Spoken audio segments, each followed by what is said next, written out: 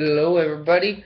Um, so I'm going to teach you um, the rubber band through the hand tricks. And so I'm going to show it to you first and then I will reveal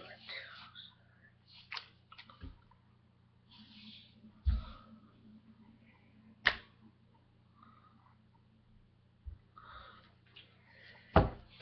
And there's another trick that I want to show you. It's very similar to this one.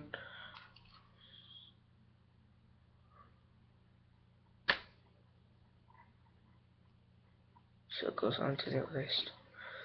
So this is how you do the first one. So have just maybe like three or four rubber bands. Make I don't know, kind of loose.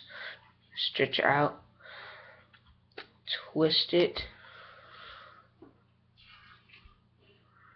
put the X right in that crease of your thumb, bring it down, clamp it, and then bring it up like this, and with this one.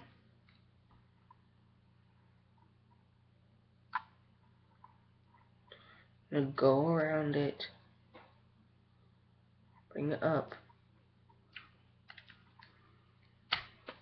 Bring it up, twist it again, bring it over your fingers, and it's going to go down like this, and it's going to look like that. So then you tell your spectator to put their hand down, like this, and then you're just going to release from the thumb, it's going to go on their hand. So very similar to the last one.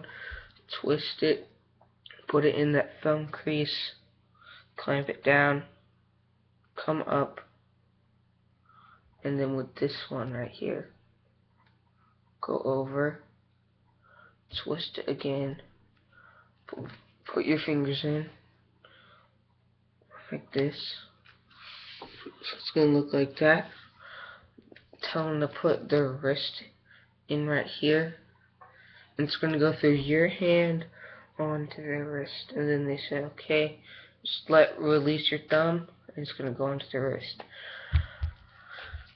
So, that's how you do two rubber band through the hand tricks. So I'm going to show you again. Twist it. Put it in the thumb crease right there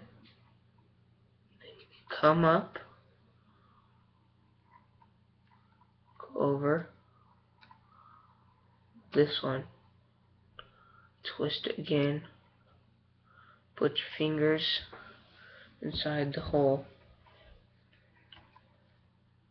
not in the twisted part. Gonna look like that.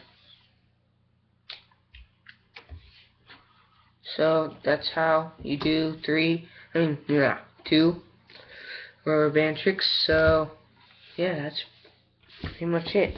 Comment on you want me to do next, and yeah, like this video or like the video, I don't know.